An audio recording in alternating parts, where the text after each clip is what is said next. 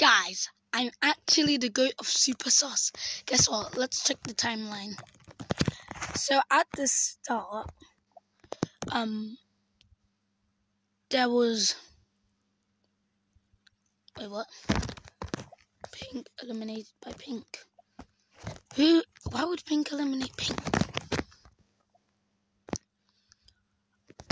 All because there was a sheriff and Pink got it wrong. Then, um, little did I know that Cyan was the conjurer. Then Red, Red, Red said that he was the scout, but I was the scout, so we all voted Red out.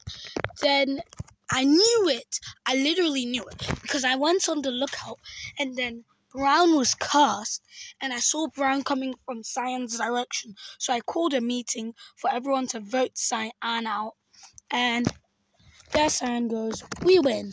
Like and subscribe if you think I'm, I have big brain IQ, and that's how I won. And I'll see you in the next video. Bye.